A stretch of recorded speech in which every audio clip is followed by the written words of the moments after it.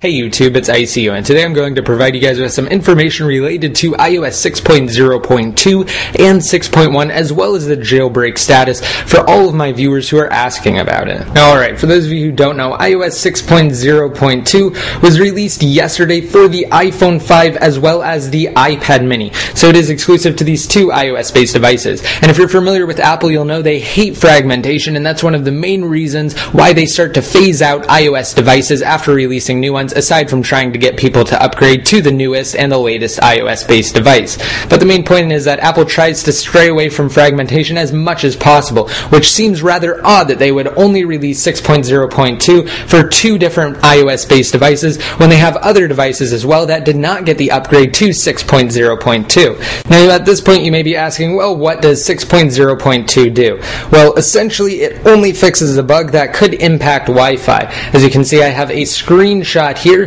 that's just of the settings application and it's of the software update portion of the settings application. And again, as you can see, this 6.0.2 update only addresses a bug that could affect the Wi-Fi connectivity of either the iPhone 5 or the iPad mini. So while most will be able to update through iOS's built-in over-the-air update feature, some users will actually have to plug their device into their computer, download the software update via iTunes, and actually install it that way. And the reason for that again is that this addresses an unnamed bug which does affect the Wi-Fi connectivity. So one main theory as to why Apple would release a new firmware for only two devices is that they're trying to prepare for iOS 6.1 so that all users will be able to use Apple's over-the-air update feature to actually upgrade to 6.1 which should be released in the near future. A day before Apple pushed out 6.0.2 they actually seeded iOS 6.1 beta 4 to developers so we're getting closer to the release of 6.1. Now let's talk about the possibility of a jailbreak for 6.0.2. Essentially, I'm just going to be blunt and say that there will not be a jailbreak for 6.0.2. Again, it's only for two of Apple's latest iOS based devices,